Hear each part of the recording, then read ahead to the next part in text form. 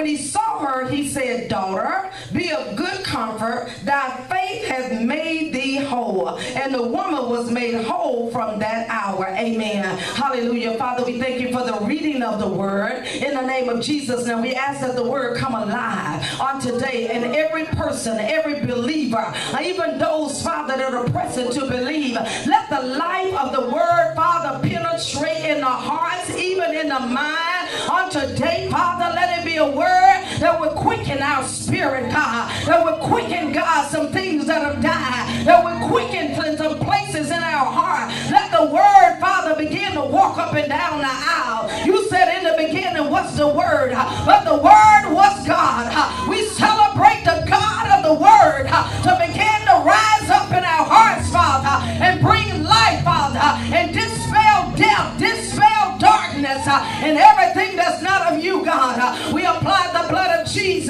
even over our hearing today. We'll not be distracted, even over our mind today. Our mind will be stayed on you, God, in the name of the Lord Jesus Christ. And we praise and bless you for doing it. In Jesus' name, amen, amen. Hallelujah. You may be seated in the name of Jesus. Hallelujah. Father, in Jesus' name, God is so awesome. I looked uh, at this word and God just dropped it in my spirit. And he was talking about the woman with the issue of blood. Now, all of us have heard of that message and have heard of that scriptures many times in the past. Amen. But God pointed out to me in particular on today, and it stands out in the verse uh, 21. It says, uh, Now, this woman that had an issue of blood, let me back up, and she had dealt with her disease for 12 long years. Now, that's a long time to deal with a problem, right? That's a real long time. It's hard to even imagine or to fathom uh, that her problem or her issue that she had, it had been plaguing her for 12 long years. Now, in our knowledge today, it doesn't seem like probably the problem she was having was that significant because some women or some people may be able to identify with this. Her disease was an issue of blood, but when you look at the different translation and understand, her problem was is that she had a problem with a flow of blood. It means that even her womanhood, that her flow was continuous. It wasn't once a month, but she had been flowing for 12 long years. Now, for most people, if that happened, you're going to be anemic, you're going to be weak, all kind of stuff is going to be happening to you. Amen? So, in this day and time of 2015, if we have an issue of blood, then it's a medical problem. It's a, something that's dealing with our uh, disease, uh, something that would cause us perhaps to be weak in our flesh or in our body. But back in that time, if you had an issue of blood, it was called that you were impure. Wow. It was a, a situation that you were unclean. It was a situation that because uh, she was having this flow issue, uh, she couldn't even really go out among the people. She wasn't even allowed to come to church. associate with people. And it wasn't just for once a month, but for 12 long years, uh, this woman was an outcast. For 12 long years, uh, she couldn't come in the synagogue and worship her God. For 12 long years, uh, people looked down on her. And when she began to approach them, they would cry out, unclean, unclean. So this woman had been in a bad situation for a long time. She was a social outcast. Uh-huh. And she was not, she didn't fit in with the regular, they did not accept her. And so here in verse 21, it says, For she said, well, let's read 20, and behold, a woman with a disease with an issue of blood, 12 years, came behind him and touched the hem of his garment. For she said within herself, somebody said within herself, within herself. if I may but touch his garment,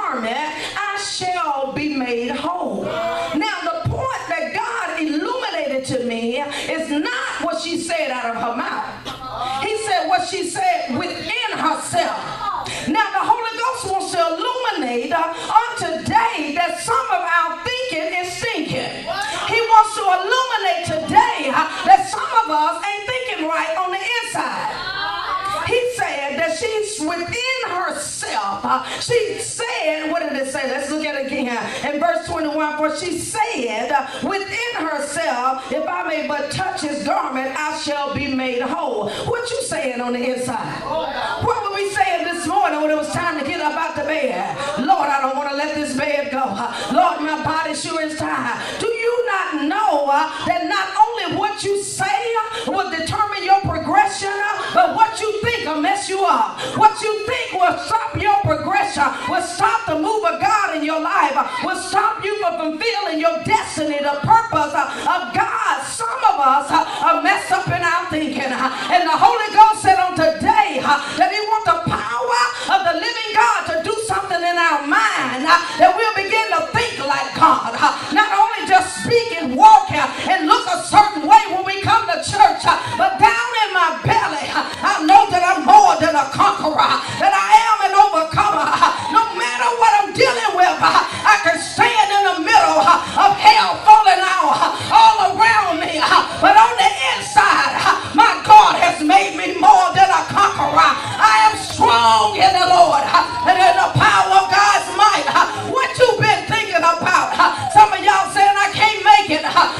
education ain't where it need to be. I don't have enough money.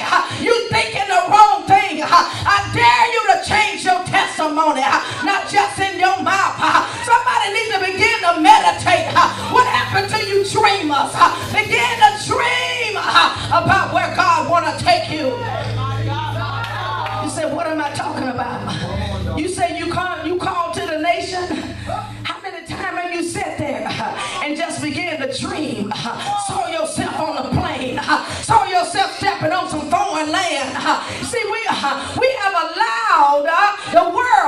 To take the principles of the kingdom.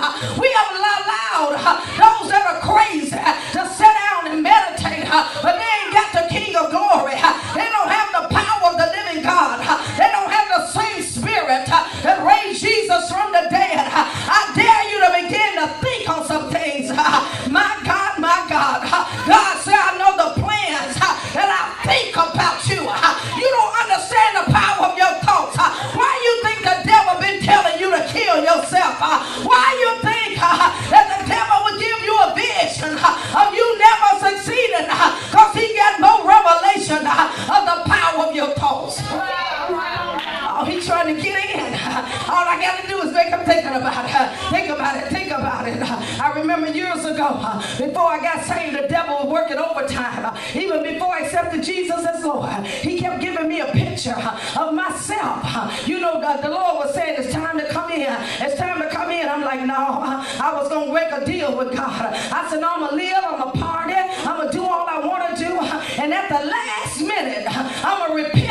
go to heaven.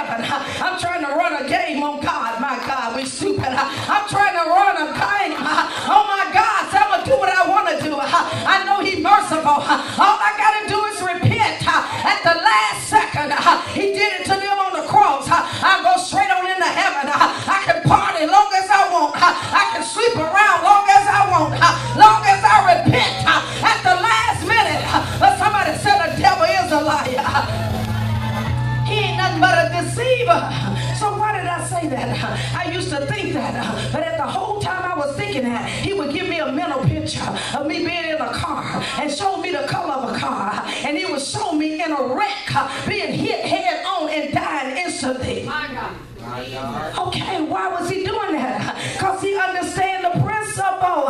Meditate on these things day and night, and then your way shall be prosperous. What have you been thinking on day and night? Now you wondering why you ain't got no money. Why you been thinking I'll never get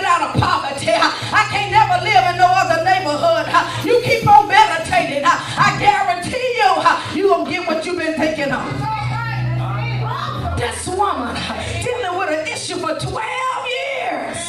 But she got a revelation. She said, she didn't even say it out of her mouth. Oh my God, y'all gonna get this. She said within herself, my God, if I can but touch the hem of his garment, then nobody hear her praise and then nobody hear a word. Ain't nobody got to know what you thinking. You can be sweeping the floor. You can be mopping the floor your knees clean in a toilet, uh, but if your mind uh, is stained on God, uh, if you see yourself doing what God called you to do, He gonna raise you up. This woman sitting here. She had that issue of blood. And when you look at this scripture, I said, okay, she said within herself.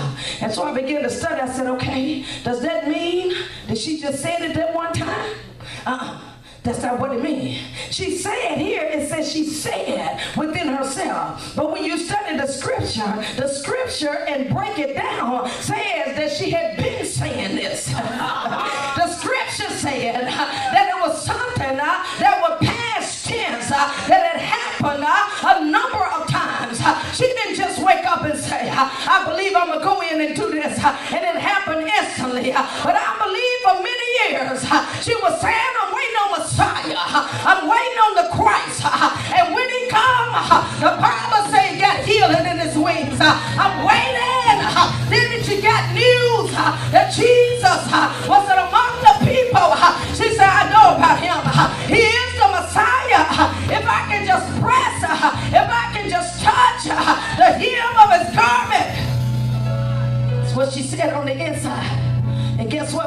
When she touched him.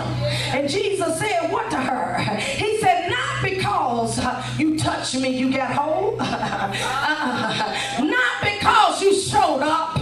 He said, Your faith is the one that made you whole. We think faith is just what we say. But I come to announce to you faith is on the inside.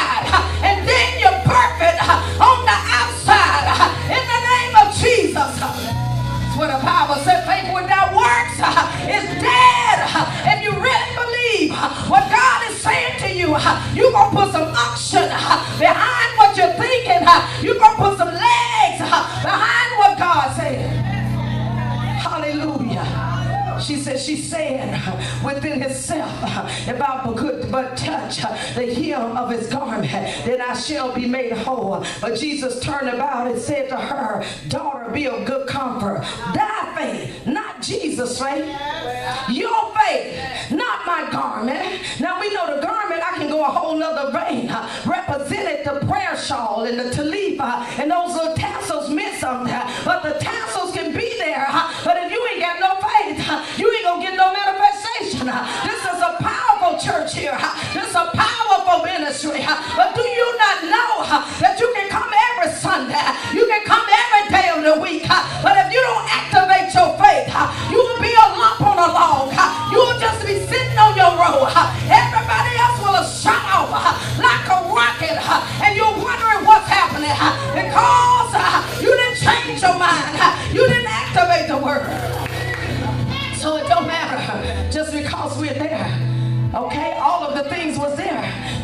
prayer shawl meant that it brought healing, but there was a whole bunch of people out there need healing.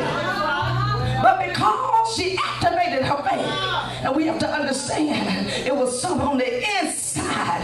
It was something on the inside. I dare you to begin to think about how often uh, and what you think about day to day. If you will begin to take a log that you don't even rebuke, you just sit down and think about it. Them thoughts of lust that you will go on into it, sitting there thinking, well, ain't doing the act, but you all up in the bed, your mind done took you there. As long as you let your mind take you, your body gonna send you. You better watch what you thinking we understand that in the natural, in the negative, that we don't want to think.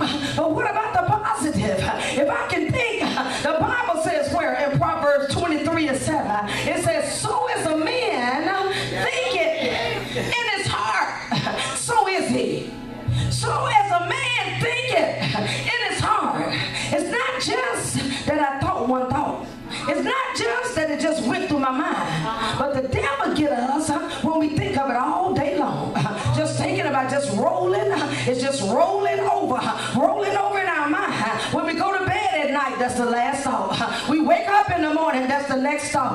That's you looking at me saying, well, I don't know what you're talking about. Think about your house, what you worried about. Think about your car, what you worried about. Think about that thing you worried about them bills, about your money, about your children. I dare to stop meditating uh, in the negative uh, and begin to meditate on what God said about the situation. I don't care how crazy it is. Uh, every time the enemy try to tell you they're going to evict you, you're going to get out your house. You ain't going to have enough money. I dare you to sit there and say, I got more than enough. My God shall supply all of my needs. You can say it out of your mouth,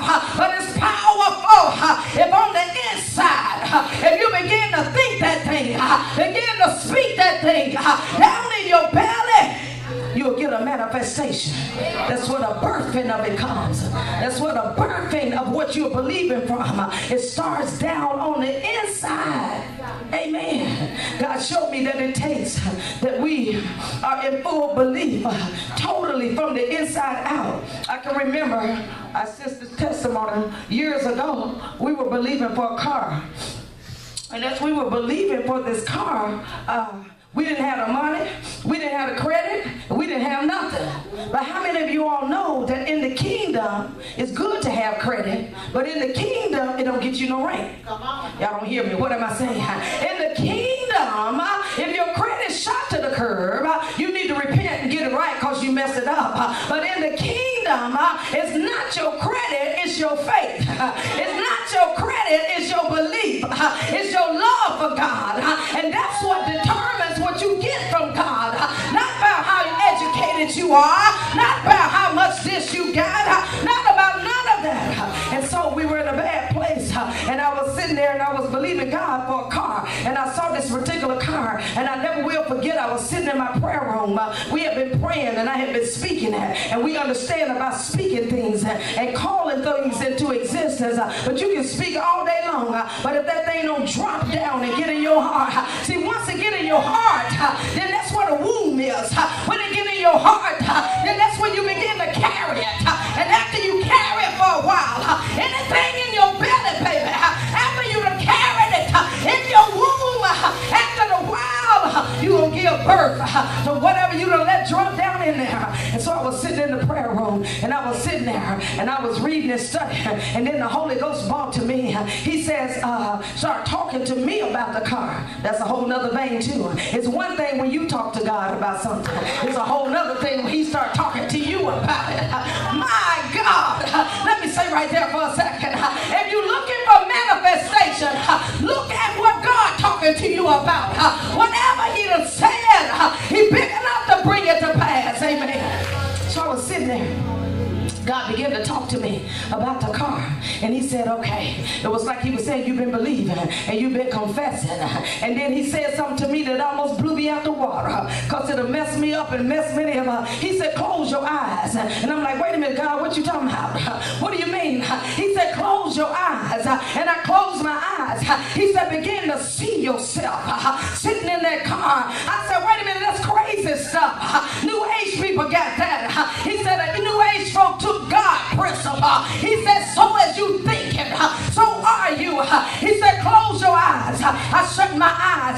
Said, now get in the car. I'm still in my prayer room. He said, get in the car. I sit down in the car. The Holy Ghost said, he said, begin to smell the newness of the leather. Somebody getting that right there. He said, begin to smell the scent of a new car. I sit there with my eyes closed. I said, I got it, God. I smell the scent. He said, now take your hand. He said, adjust the seat that it'll fit to your height. I adjusted the seat. I was sitting in the car. And when I adjusted it, the Holy Ghost said, you just birthed your car. Now go and get it Why? because that that you're believing for, you got to have it in your spirit, but you got to have it in your soul too, in your mind, in your will, in your intellect, your very